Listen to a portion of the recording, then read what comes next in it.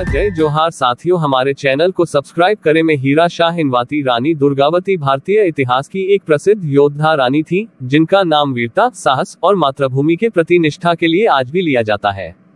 वे गोंडवाना राज्य की रानी थी और उन्होंने मुगलों के खिलाफ अपने राज्य और स्वतंत्रता की रक्षा के लिए कई लड़ाइयाँ लड़ी। रानी दुर्गावती का जीवन संघर्ष, वीरता और स्वतंत्रता की महान भावना का प्रतीक है। प्रारंभिक जीवन, रानी दुर्गावती का जन्म 5 अक्टूबर 1524 को उत्तर प्रदेश के कालिंजर किले में चंदेल राजवंश के राजा कीर्तिवर्मन के घर हुआ था।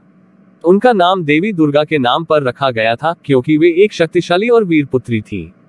बचपन से ही दुर्गावती ने युद्धकला, घुड़सवारी और शस्त्र विद्या की शिक्षा प्राप्त की। उन्हें अपने समय की बेहतरीन धनुर्धारी और तलवारबाजों में गिना जाता था।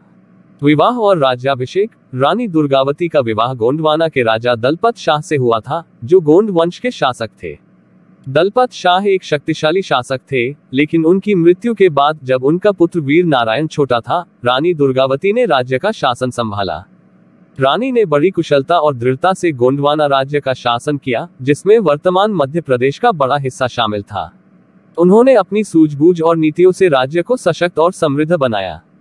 मुगलों से संघर्ष, रानी दुर्गावती का सबसे बड़ा संघर्ष मुगल सम्राट अकबर के साथ हुआ। अकबर ने अपने सेनापति आसफ खान के माध्यम से गोंडवाना राज्य पर आक्रमण किया। रानी दुर्गावती ने मुगलों की विशाल सेना के खिलाफ संघर्ष करने का साहसिक निर्णय लिया। उन्होंने मुगलों की तुलना में अपनी छोटी सेना के बावजूद वीरता से लड़ाई की। पंद्रह में नरई नाला की लड़ाई में रानी ने मुगलों का सामना किया। उन्होंने अपनी सेना का नेतृत्व करते हुए मुगलों के सामने कड़ा प्रतिरोध किया। हालाँकि, उनकी सेना मुगलों के मुकाबले कमज़ोर थी, लेकिन उन्होंने हार मानने से इनकार कर दिया। जब रानी दुर्गावती को लगा कि युद्ध में हार निश्चित है तो उन्होंने आत्मसमर्पण के बजाय वीर गति को चुना।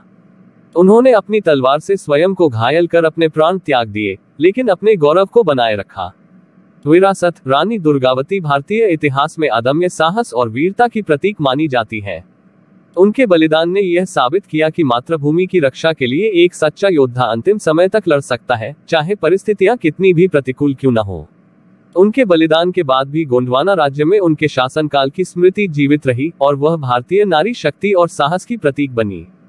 रानी दुर्गावती का बलिदान भारतीय स्वतंत्रता संग्राम के इतिहास में एक प्रेरणा स्रोत बना रहा। उनके नाम पर आज भी कई स्मारक, शिक्षण संस्थान और योजनाएँ चल रही हैं। जो उनकी महानता और वीरता की गाथा को आने वाली पीढ़ियों तक पहुंचाते हैं।